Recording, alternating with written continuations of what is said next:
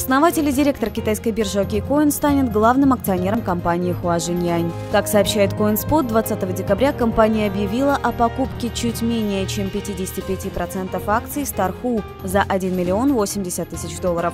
Криптовалютная биржа OKCoin является одной из немногих, кому удалось попасть на традиционный акционерный рынок.